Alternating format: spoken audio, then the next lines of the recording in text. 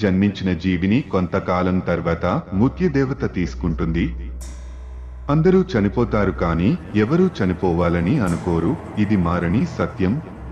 మృత్యువు ఒడిలో పడకుండా ఉండేందుకు మనుషులు ఎన్నో రకాల చేతబడి చేతబడి చేస్తుంటారు. దేవాలయాలలో మసీదులలో గురుద్వారాలలో వారు భద్రత యొక్క ఆశీర్వాదం కోసం అడుగుతారు మోసం చేసి వారు లెక్కించని సంపదను సేకరిస్తారు. ఈ కథలోని కథానాయకుడు మృత్యువు నుండి తప్పించుకోవడానికి పరిగెత్తాడు. నాకు బాగా గుర్తుంది. ఇది మార్చి సాధారణ వాతావరణ రాత్రి. వాస్తవానికి ఇది చాలా చల్లగా లేదు. ఇక్కడ రోజు నెల ఋతువులను వేరే శక్తి నిర్ణయిస్తుంది. నేను విషయాల ద్వారా వెళ్తాను. నేను ఏదో చేస్తున్నాను. ప్రతి పరిస్థితి నా నియంత్రణలో ఉన్నట్లు అనిపిస్తుంది. కానీ వాస్తవానికి అది జరగదు. నేను సంతోషంగా ఉన్నాను ఉద్వేగంగా ఉన్నాను ఏడుస్తున్నాను నవ్వుతున్నాను కానీ నా ముందు కనిపించే దృశ్యాలు నా నియంత్రణలో లేవు. నేను ఏదో చేయాలనుకుంటున్నాను కానీ ఇంకేదో జరుగుతుంది. నేను తప్పించుకోవాలనుకుంటున్నాను కానీ తప్పించుకోలేను. నేను పరిగెత్తాలనుకుంటున్నాను కానీ పరిగెత్తలేను. నేను తీవ్రంగా ప్రయత్నిస్తాను కానీ నేను ఎంత ప్రయత్నించినా నా చర్య స్లోమోషన్గా మారుతుంది. తప్పించుకోవడానికి ఒకే ఒక మార్గం ఉంది. అది కల నుండి బయటపడి వాస్తవిక ప్రపంచంలోకి రావడమే. అయితే ఇదంతా నాకు అంత సులభం కాదు. ఎవరో ఒక వాక్యం పలికినట్లు లేదా ఎవరో వచ్చి నా దగ్గర నిలబడ్డట్లుగా చాలా సేపు జరుగుతుంది. కొన్ని నీడలు అకస్మాత్తుగా కనుమరుగవుతాయి. అప్పుడు కొత్త ఆకాశం తెరుచుకుంటుంది. నేను కొత్త ప్రపంచంలోకి ప్రవేశించడం ప్రారంభిస్తాను. ఈరోజు బ్లాంకెట్ ఫ్యాక్టరీలో పనిచేసి ఎప్పటిలాగే ఇంటికి వచ్చాను. రాత్రి భోజనం చేశాక ఎప్పటిలాగే భార్య పక్కనే మంచం మీద కూర్చుని టీ డొట్వి. కానీ తనకు ఇష్టమైన డ్రామా చూడటం మొదలుపెట్టాడు. అక్కడ నా పిల్లలిద్దరూ నా దగ్గర ఆడుకుంటున్నారు. ఈరోజు రోజంతా పనిచేసి చాలా అలసిపోయాను. వెంటనే నేను నిద్రపోవడం ప్రారంభించాను.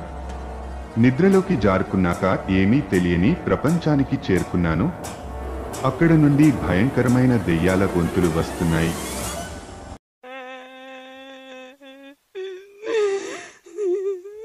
శిఖరం వరకు కనిపించే చాలా పొడవైన చెట్ల గొలుసు ఉంది. నేను అతని వైపు మెల్లగా నడవడం మొదలుపెట్టాను. ఇది చాలా ఎత్తైన నల్లని పర్వతం. చీకటి రాత్రిలో పెద్ద పెద్ద చెట్ల గుత్తులు మెరుస్తూ ఉంటాయి. సూర్యుడు ఇంకా పశ్చిమాన దాగలేదు. ఇది పర్వత శిఖరానికి సరిగ్గా వెనుక ఉంది. నా వైపు చీకటి ఉంది కానీ పర్వతం వెనుక మేము కాంతి ఫౌంటైన్లతో పగిలిపోతున్నాము. సూర్యుడు అస్తమిస్తున్న కొద్దీ చీకటి కూడా పెరుగుతోంది. ఇప్పుడు ఇక్కడికి రాత్రిపూట పయనం మొదలైంది. వారు తమ గుహల నుండి బయటకు వచ్చి కడుపులోని మంటలను ఆర్పేందుకు వెతకడం మొదలుపెట్టాడు. ఈ రకమైన నల్లని పర్వతాన్ని నేను మొదటిసారి చూశాను. అతని పాదాల దగ్గర నిలబడి అతని గురించి ఆలోచిస్తుంటే నా వెనుక గుర్రం గర్జించే శబ్దం వినబడింది. గుర్రపు స్వారీ అప్పుడే నా దగ్గరకు వచ్చాడు. నేను అతనిని జాగ్రత్తగా గమనించాను. అతను పొడవాటి మేరీల్లాగా దాదాపు ఎనభై సంవత్సరాల వయస్సులో ఉన్నాడు. పొడవాటి తెల్లటి గడ్డం నడుము కాస్త వాలుగా. అతను మా నాన్నలాగే తలపై తలపాగా ధరించాడు. గుర్రం దిగగానే నా దగ్గరకు వచ్చి ఇలా అన్నాడు. ఎందుకు ఆపారు? పైకి వెళ్ళండి మీ గమ్యం ఉంది. నీవెవరు? నేను ఇక్కడ అలాగే నిలబడి ఉన్నాను. నేను కొండపైకి వెళ్ళేటప్పుడు కొంచెం వచ్చాను. నేను అతనిని ప్రశ్నలు అడుగుతున్నాను. అవును ఈ రోజుల్లో మీలాంటి పిల్లలకు మాట్లాడే దమ్ము లేదు. నేను మీ నాన్నగారి తండ్రిని మీ పెద్దలు మీకు తెలియదు. ఆ సమయంలో నువ్వు కూడా ఇక్కడ లేకుంటే ఎలా ఉంటుంది? ముసలివాడు నాతో పరుష పదజాలంతో మాట్లాడాడు. అయితే నువ్వు నా తాతవి పొదలు చెట్లు మరియు మొక్కలు కాకుండా ఈ కఠినమైన పర్వతం పైన నాకు కావలసిన నలుపు రంగు ఏమి ఉంది అని అడిగాను. నేను ఆ వృద్ధుడిని చాలా రహస్యంగా గుర్తించాను. అతను పూర్తిగా నిశ్చలంగా ఉన్నప్పుడు అతని నీడ కొన్నిసార్లు కుడి వైపుకు కొన్నిసార్లు ఎడమ వైపుకు తిరిగింది.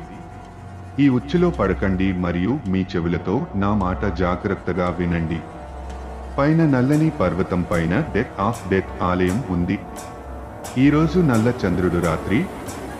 ఈరోజు రాత్రి సరిగ్గా పన్నెండు గంటలకు గుడిలో మృత్యుదేవతని పూజిస్తే జన్మ జన్మల పాపాలు.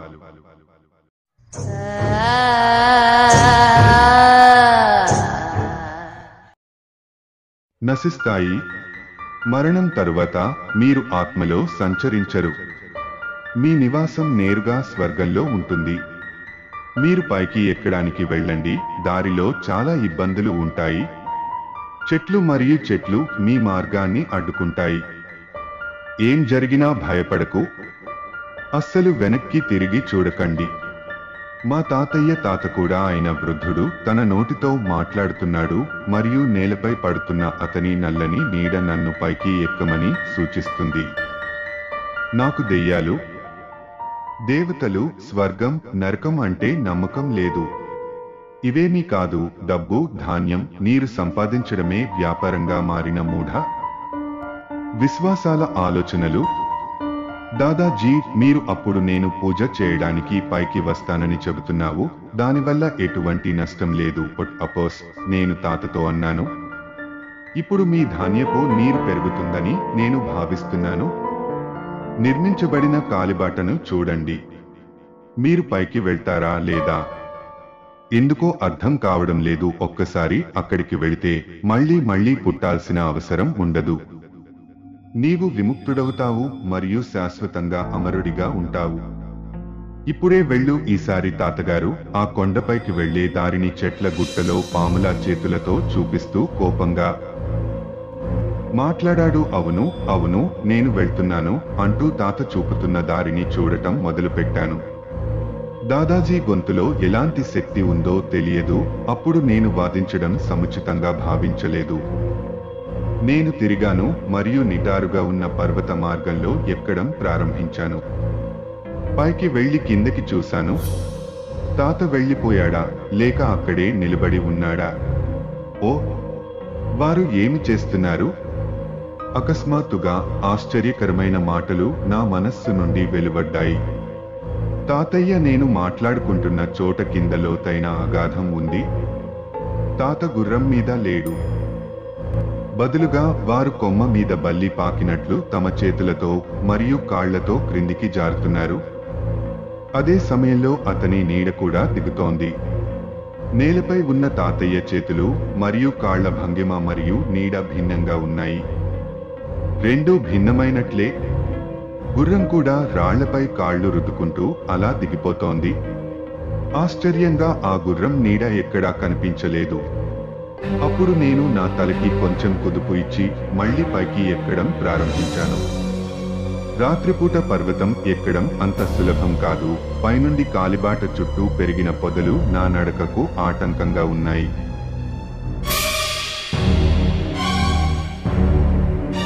నేను ఏ ప్రపంచానికి చేరుకున్నాను? ఈ ప్రపంచ రహస్యం ఏమిటి? తరువాత ఏమి జరుగుతుంది? మరింత తెలుసుకోవడానికి మా హిందీ హర్రర్ స్టోరీ యూట్యూబ్ ఛానల్ని సబ్స్క్రైబ్ చేయండి. ధన్యవాదాలు.